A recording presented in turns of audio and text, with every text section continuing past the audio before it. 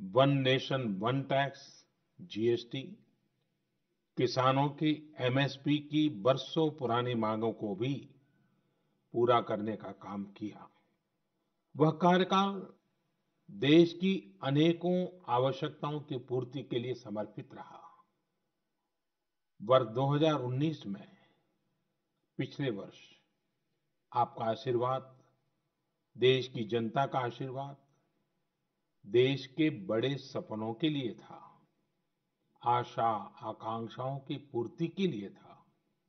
और इस एक साल में लिए गए सारे फैसले इन्हीं बड़े सपनों की उड़ान है। आज जनजन से जुड़ी जनमन की जनशक्ति राष्ट्र शक्ति की चेतना को प्रज्वलित कर रही है। गत एक वर्ष में देश ने सतत नए स्वप्न देखे, नए संकल्प लिए और इन संकल्पों को सिद्ध करने के लिए निरंतर निर्णय लेकर कदम भी बढ़ाए। भारत की इस ऐतिहासिक यात्रा में देश के हर कोने से हर समाज, हर वर्ग और हर व्यक्ति ने बखूबी अपना दायित्व निभाया है। सबका साथ, सबका विकास, सबका विश्वास, इस मंत्र को लेकर आज देश सामाजिक हो या आर्थिक, वैश्विक हो या आंतरिक, हर दिशा में आगे बढ़ रहा है।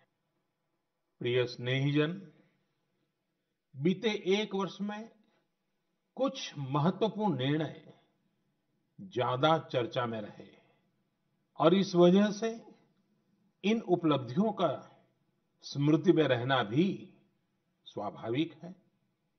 राष्ट्रीय एकता अखंडता के लिए आर्टिकल 370 की बात हो, सदियों पुराने संघर्ष के सुखद परिणाम राम मंदिर निर्माण की बात हो, आधुनिक समाज व्यवस्था में रुकावट बना ट्रिपल तलाक हो या फिर भारत की करुणा का प्रतीक, नागरिकता संशोधन कानून हो, ये सारी उपलब्धियाँ आप सभी को स्मरण है। एक के बाद एक हुए, इन ऐतिहासिक निर्णयों के बीच अनेक फैसले, अनेक बदलाव ऐसे भी हैं जिन्होंने भारत की विकास यात्रा को नई गति दी है, नए लक्ष्य दिए हैं, लोगों की अपेक्षाओं को पूरा किया है। चीफ ऑफ़ डिफेंस स्टाफ के पद के गठन ने, जहाँ सेनाओं में समन्वय को बढ़ाया है, वहीं मिशन गगनयान के लिए भी भारत ने अपनी तैयारियाँ तेज कर दी हैं। इस दौरान गरीबों को किसानों को, महिलाओं, युवाओं को सशक्त करना हमारी प्राथमिकता रही है। अब पीएम किसान सम्मान निधि के दायरे में देश का प्रत्येक किसान आ चुका है। बीते एक वर्ष में इस योजना के तहत करीब करीब 10 करोड़ किसानों के खातों में बहत्तर हज़ार करोड़ रुपए से अधिक राशि जमा कराई गई है। देश के 15 करोड़ से अधिक ग्रामीण घरों में पीने का शुद्ध पानी पाइप से मिले। इसके लिए जल जीवन मिशन शुरू किया गया है। हमारे 50 करोड़ से अधिक के पशुधन के बेहतर स्वास्थ्य के लिए मुफ़्त टीकाकरण का बहुत बड़ा अभियान भी चलाया जा रहा है। देश के इतिहास में यह भी पहली बार हुआ है जब किसान खेत मजदूर, छोटे दुकानदार, छोटे व्यापारी और असंगठित क्षेत्र के श्रमिक साथियों, सभी के लिए 60 वर्ष की आयु के बाद तीन हज़ार रुपये की नियमित मासिक पेंशन की सुविधा सुनिश्चित हुई है। मछुआरों की सहूलियत बढ़ाने के लिए, उनको मिलने वाली सुविधाएँ बढ़ाने और ब्लू इकोनॉमी को मज़बूत करने के लिए विशेष योजनाओं के साथ साथ अलग से विभाग भी बनाया गया है। इसी तरह व्यापारियों की समस्याओं के समय पर समाधान के लिए व्यापारी कल्याण बोर्ड के निर्माण का निर्णय लिया गया है। स्वयं सहायता समूहों से जुड़ी लगभग सात करोड़ बहनों को भी अब ज़्यादा वित्तीय सहायता दी जा रही है। हाल में ही स्वयं सहायता समूहों के लिए बिना गारंटी के ऋण को 10 लाख से बढ़ाकर दो गुना, यानी 20 लाख कर दिया गया है। आदिवासी बच्चों की शिक्षा को ध्यान में रखते हुए देश में 450 से ज़्यादा नए एकलव्य मॉडल रेसिडेंशियल स्कूलों के निर्माण का अभियान शुरू किया गया है। सामान्य जन के हित से जुड़े बेहतर कानून बने इसके लिए भी बीते वर्ष में तेज गति से कार्य हुआ है। हमारी संसद ने अपने कामकाज से दशकों पुराना रिकॉर्ड तोड़ दिया है। इसी का परिणाम है कि चाहे कंज्यूमर प्रोटेक्शन एक्ट हो, चिट फंड कानून में संशोधन हो, दिव्यांगों, महिलाओं और बच्चों को अधिक सुरक्षा देने वाले कानून हो, ये सब तेज़ी से बन पाए हैं। सरकार की नीतियाँ और निर्णयों की वजह से शहरों और गाँवों के बीच जो खाई है, वो कम हो रही है। पहली बार ऐसा हुआ है जब गाँव में इंटरनेट का इस्तेमाल करने वालों की संख्या, शहर में इंटरनेट इस्तेमाल करने वालों से 10 प्रतिशत ज़्यादा हो गई है। देश हित में किए गए इस तरह के ऐतिहासिक कार्यों और निर्णयों की सूची बहुत लंबी है। इस पत्र में सभी को विस्तार से बता पाना संभव नहीं, लेकिन मैं इतना अवश्य कहूँगा कि एक साल के कार्यकाल के प्रत्येक दिन चौबीसों घंटे पूरी सजगता से काम हुआ है। संवेदनशीलता से काम हुआ है, निर्णय लिए गए हैं। प्रिय स्नेहीजन, देशवासियों की आशाओं, आकांक्षाओं की पूर्ति करते हुए हम तेज गति से आगे बढ़ ही रहे थे कि कोरोना वैश्विक महामारी ने भारत को भी घेर लिया। एक और, जहाँ अत्याधुनिक स्वास्थ्य सेवाओं और विशाल अर्थव्यवस्था वाली विश्व की बड़ी-बड़ी महाशक्तियाँ हैं। वहीं दूसरी ओर इतनी बड़ी आबादी और अनेक चुनौतियों से घिरा हमारा भारत है। कई लोगों ने आशंका जताई थी कि जब कोरोना भारत पर हमला करेगा तो भारत पूरी दुनिया के लिए संकट बन जाएगा। लेकिन आज सभी देशवासियों ने भारत को देखने का नज़रिया बदलकर रख दिया है। आपने ये सिद्ध करके दिखाया है कि विश्व के सामर्थ्यवान और संपन्न देशों की तुलना में भी भारतवासियों का सामूहिक सामर्थ्य और क्षमता अभूतपूर्व है। ताली थाली बजाने और दिया जलाने से लेकर भारत की सेनाओं द्वारा कोरोना वॉरियर्स का सम्मान हो जनता कर्फ्यू या देशव्यापी लॉकडाउन के दौरान नियमों का निष्ठा से पालन हो, हर अवसर पर आपने ये दिखाया है कि एक भारत ही श्रेष्ठ भारत की गारंटी है।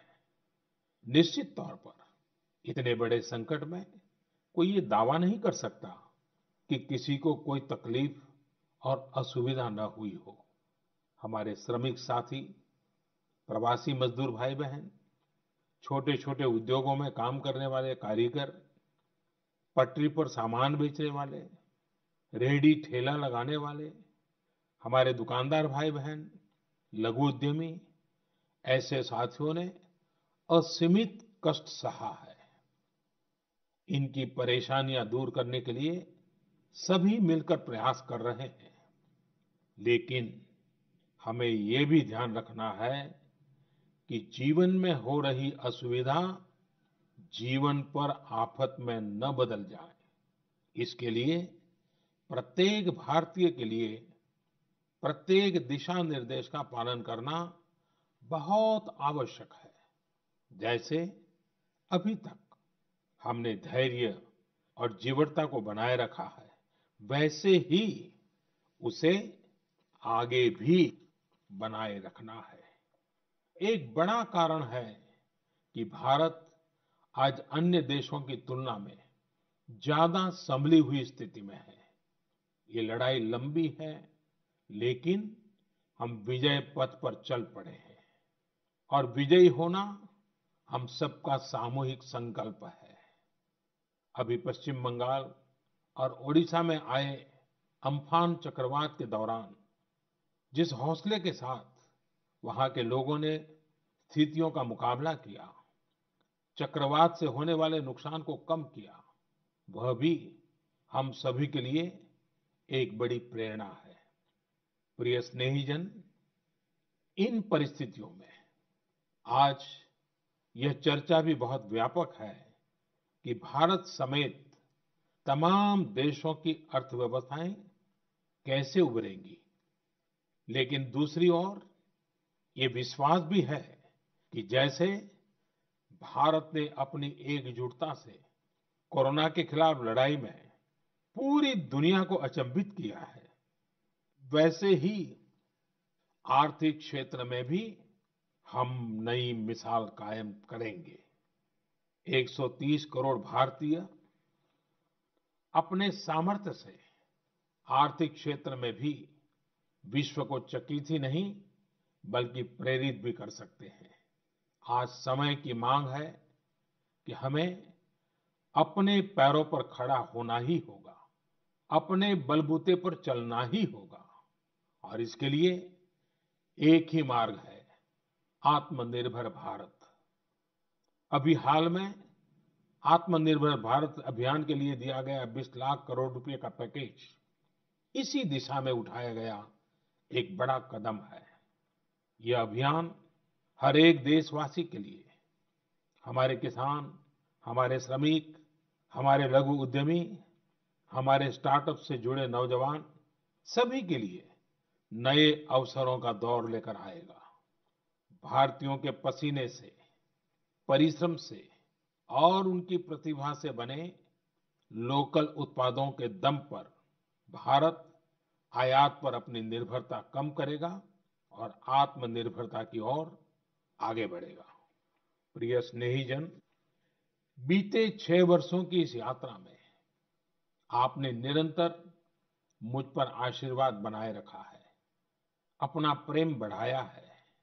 आपके आशीर्वाद की शक्ति से ही देश पिछले एक साल में ऐतिहासिक निर्णयों और विकास की अभूतपूर्व गति के साथ आगे बढ़ा है। लेकिन फिर भी मुझे पता है कि अब भी बहुत कुछ करना बाकी है। देश के सामने चुनौतियाँ अनेक हैं, समस्याएँ अनेक हैं। मैं दिन रात प्रयास कर रहा हूँ।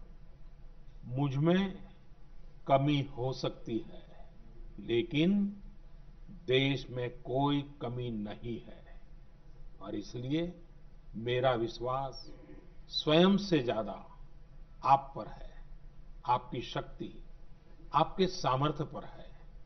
मेरे संकल्प की ऊर्जा आप ही है।